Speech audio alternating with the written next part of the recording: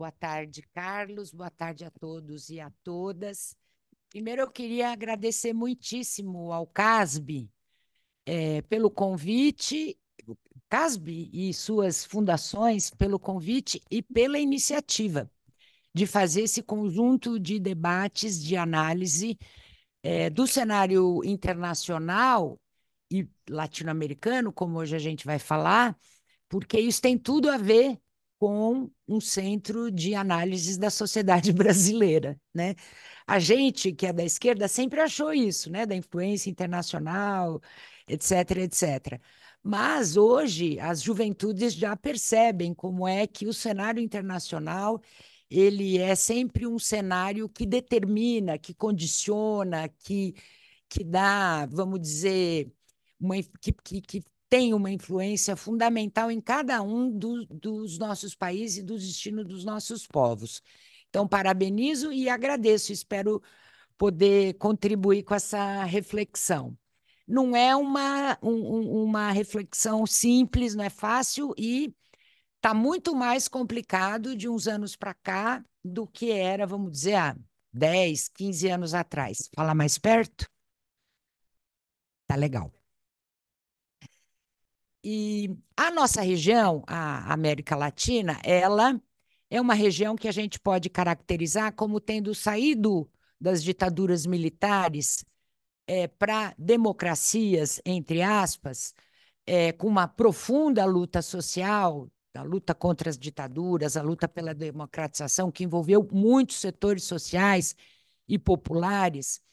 Quando a gente consegue conquistar a chamada democracia no fim das ditaduras militares, que a gente começa a democratizar e criar constituintes e novas constituições e ter eleições presidenciais, eleições de é, de disputa política nas nossas sociedades, os primeiros governos que foram eleitos no final da década de 80 e na década de 90 foram governos eleitos democraticamente, mas a maioria esmagadora, se não todos, com um perfil e um projeto neoliberal muito evidente e muito forte. Aliás, aquela década de 90 foi a década, vamos dizer, de, de de hegemonia do ideário neoliberal, era o fim da história. Eu me lembro de umas campanhas, eu sou bem antiga, eu me lembro de uma campanha eleitoral, a primeira que, que teve aqui depois da democratização em 89, que a propaganda do candidato Collor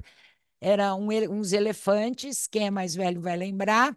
Eu gosto muito de propaganda e propaganda eleitoral, mas eram uns elefantes simbolizando o Estado destruindo todas as conquistas dos povos, dizendo, assim, e era uma coisa visual muito forte. E nós, com o nosso candidato Lula, falando em projeto democrático popular, saúde, educação e tudo mais. Então, e, e, a maioria das eleições e a maioria dos países foram hegemonizados, foram ele, elegeram governos democraticamente, eu sempre ponho entre aspas isso, porque tem toda uma discussão sobre sistema eleitoral, democracia representativa, que hoje é mais, mais forte também, mas com o perfil é, de projeto político e econômico para as nossas sociedades, para os nossos países, de perfil neoliberal, num momento de muita hegemonia do, do ideário neoliberal.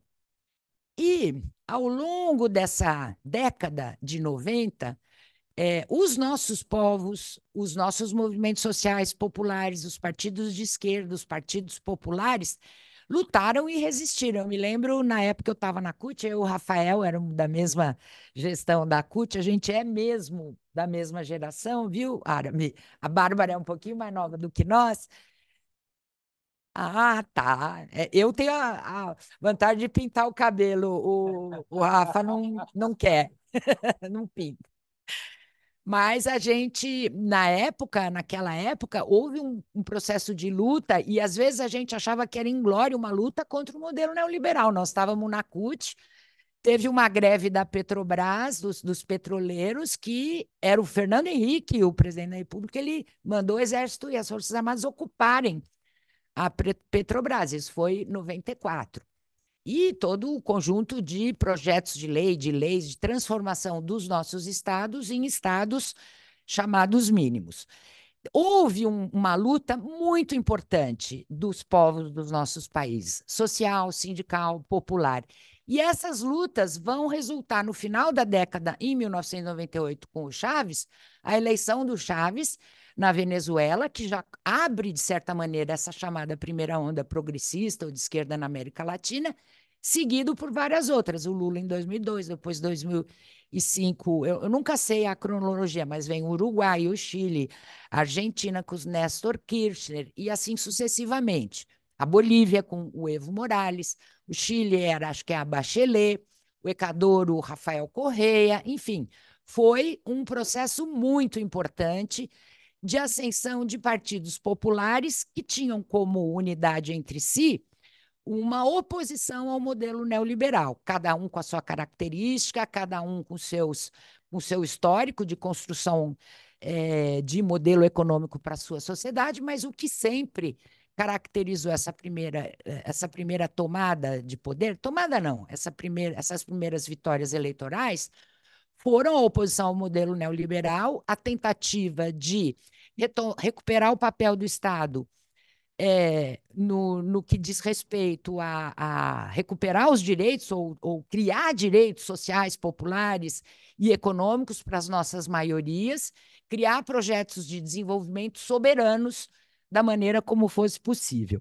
Essa primeira onda, eu tenho uma tese que eu não tenho tempo de estudar e também é, acho que deve já ter gente estudando sobre isso, mas eu, eu tenho uma tese que se a gente for observar o que foi acontecendo com esses governos, com erros e com acertos também, mas a maioria dos nossos governos, nós passamos a sofrer processos políticos de forte desestabilização ou processos golpistas, ou golpe parlamentar, ou golpe midiático, ou golpe eh, policial militar, que foi o caso da Bolívia. Então, teve o, o, o Honduras, o Zelaya, depois o Lugo, depois a Dilma, a, o Lofer contra o Rafael Correia, contra a Cristina Kirchner, em 2019, na eleição da Bolívia, um golpe policial militar. Então, o que me dava, o que me dá a impressão de, ou que me dá uma certa intuição de achar que é, o modelo neoliberal em si, nas disputas eleitorais, na disputa mais democrática, ele não conseguia se viabilizar não conseguia convencer as maiorias, porque a gente assumiu os nossos países, o governo dos nossos países, executamos um, um projeto com erro, com acerto, com insuficiências, enfim, do, do, todo mundo sabe como é que foi isso, mas, ao mesmo tempo, a maneira pela qual o ideário neoliberal resolveu parar com esse processo, interromper esse processo, foi sempre a partir de medidas de força. Nós vimos o que aconteceu no Chile, os estudantes todos nas ruas, o grau de repressão é, policial e militar nunca visto depois da, da, do fim da ditadura do Pinochet, mesmo no Equador, é, na Colômbia, em muitos países, e, e, ainda que o Equador e a Colômbia, a, Colô a Colômbia nós não governávamos o nosso campo, e o Equador já tinham tirado o, o, o Rafael Correa já tinha Uh, ganhou a eleição, mas depois perdeu, porque o cara dele foi cooptado, né, o Lenin Moreno. E, então, essa é a minha primeira tese. É, a minha primeira tese é dizer o seguinte: na, nós vínhamos num processo com erro e com acerto, mas que houve uma, um, uma solução de continuidade, uma tentativa de nos parar através de mecanismos de força, já começando fora vamos dizer, do que se convencionou chamar coisas do Estado Democrático de Direito, chegando até o Lula em 2018, que vai preso e tudo mais. Mas a gente tem uma continuidade do processo de luta e de resistência do povo no período seguinte. Então a gente começa de novo a melhorar a correlação de forças políticas nos nossos países e garantir umas novas vitórias eleitorais. Aí vem o México, que já tinha ganho eleição lá atrás e tinha sido fraudado com Lopes Obrador, ganha eleição em 18. O Alberto Fernandes, uh, na Argentina, ganha. Depois a Bolívia, 19 e 20, teve o golpe, mas em 20 elege de novo um, um governo do MAS e PSP. Boric elege no Chile em 2021. A Silmara Castro, em Honduras, um país ali no quintalzinho, dos Estados Unidos, elege em 21, a Colômbia em 22 com o Petro, o que era inimaginável em 2016. 2017, eu tive na Colômbia numa missão de, de acompanhamento dos acordos de paz, dos chamados acordos de Havana, em maio de 2017. Eu não imaginava que em 22 um governo com o perfil de esquerda do Pacto Histórico pudesse ganhar as eleições em 2022 e ganhamos. E depois o Lula. Outros processos que a gente participou como campo é, e perdemos, nós sempre disputamos o, o segundo lugar, o caso do Equador e depois o Uruguai. O Uruguai vai ter eleição de novo agora esse ano. Tudo indica, bom, nas pesquisas atuais, os nossos uruguaios, brasi, brasileiros uruguaios que estão, nossos brasileiros, o Rafael e a Thaís que estão morando lá, podem nos contar mais detalhes da disputa lá. Mas o que eu quero dizer com isso é que é, ainda persiste e, e, depois desses processos de retomada, vamos dizer, desses governos com perfil mais progressista, segue a crise econômica de 2008 e a ordem neoliberal vai procurar e vai achar e vai forjar novos protagonistas para defender o seu modelo. E aí que cresce a extrema-direita. E cresce de uma maneira, se o modelo Pode ser que eu tenha um viés muito economicista, mas se o modelo neoliberal não conseguia se viabilizar nas disputas com o chamado centro uh, neoliberal civilizado, né? E, e, a gente for analisar país por país, a gente vai ver exatamente o, a fragilização dos partidos de centro de perfil neoliberal em cada um dos países. Aqui no nosso caso brasileiro é classicamente o caso do PSDB, mas tem outros casos em outros países. O modelo neoliberal ele passa a, a ser hegemonizado ou a ser protagonizado por setores de extrema esquerda, com uma grande diferença, uma de extrema direita, uma grande identidade em termos de modelo econômico, vê o, o programa do Bolsonaro, do Milley, é, do Rodolfo Fernandes na Colômbia, que, que disputou e perdeu do Petro, do Casti no Chile, que perdeu para o Boric, uh, aquele, o Guilherme Lasso no Equador, que derrotou o, o candidato nosso André Zaraus, já depois, na, na, na depois do, do, da, na sucessão do Lenin Moreno. Então, nós vamos, nós vamos ver que todos esses novos candidatos, esses candidatos é, que foram protagonizar o modelo neoliberal do ponto de vista econômico, do ponto de vista político, é aí que eu acho que reside essa mudança qualitativa no cenário da disputa latino-americana, que é o surgimento da extrema esquerda, da extrema direita. E acho que é com uma, com uma característica, porque é buscar se viabilizar como alternativa política e de massa com um discurso de antissistema, com um discurso uh, anti. Como é que é que eles, que eles se autodenominam? Eu tinha até colocado uma roupagem mesmo de antissistema contra tudo que está aí e tentando nos colocar e nos caracterizar os partidos, os movimentos e os novos movimentos sociais que inclusive surgem, movimento feminista, movimento LGBTQIA+, etc., como os do sistema. E é interessante perceber como o modelo neoliberal ele e, e os seus principais, vamos dizer assim, é, como eles é, procuram e tentam viabilizar os seus os candidatos para defender o seu, o seu ideário de uma maneira fazendo um, uma maquiagem. Eu não vou me esquecer, na eleição de 2018 aqui no Brasil, como é que eu via um monte de articulistas na televisão é, dizer que o, o Paulo Guedes, o posto Ipiranga do Bolsonaro, ia ser o grande cara do governo Bolsonaro, que ia implantar um modelo um modelo econômico, anticorrupção, sem, sem como é que lá no modelo neoliberal, mas ao mesmo tempo ia conter os arrobos do Bolsonaro. Né? Então, e o que aconteceu? Nós fomos derrotados, o PT e o Haddad foi derrotado em 2018 é, por um cara que eu jamais imaginei. Eu que sou do, do fim da luta contra a ditadura, jamais imaginei que um defensor da ditadura e da tortura, do baixo clero, do, do, parlamento brasileiro há 28 anos pudesse ser eleito presidente da República. Então, isso para mim, e se você for analisar país por país, é isso que vai acontecendo. O exemplo mais recente se chama Javier Milei, na Argentina, mas se viabiliza frente a esse cenário de, disruptivo internacional, de continuidade, por um lado, da crise econômica, que não se resolve, por outro lado, da queda relativa de hegemonia da principal potência, e para nós em especial, que, é, que são os Estados Unidos a, a ascensão econômica e política e diplomática da China.